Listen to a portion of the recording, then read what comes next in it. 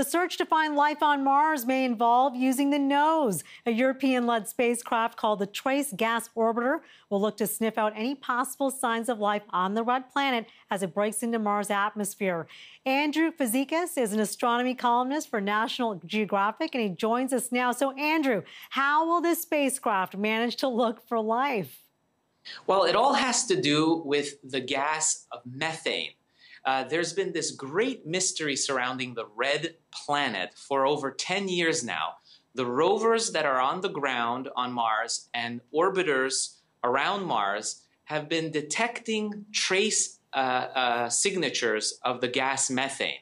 And why this is so interesting to scientists is because here on Earth, 90% of all the methane that we have in the atmosphere of Earth is caused by, uh, uh, by organisms, living beings, are, is a byproduct of life. 90% of it here on Earth. So this is why this is a big mystery on Mars because we're trying to find what causes them, what's driving this production of methane in different parts of Mars. So this orbiter has a special sensor on board that's basically able to sniff out in the atmosphere where this, these pockets of methane may be coming from.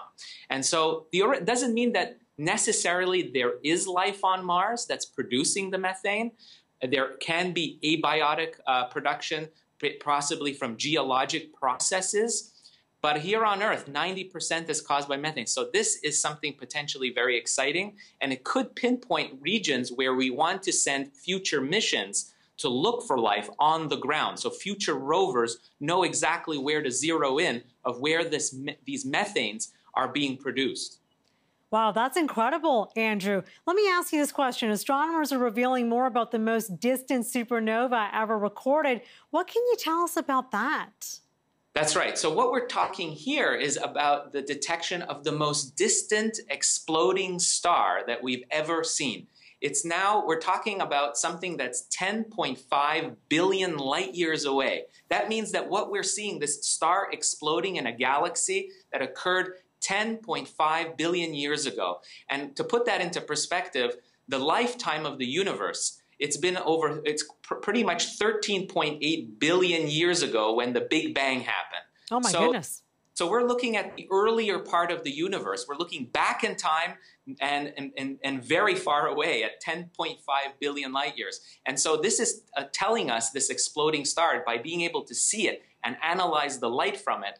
Uh, exactly what the universe was like at that point, how stars formed, and possibly even how planets form in the early part of the universe's life cycle.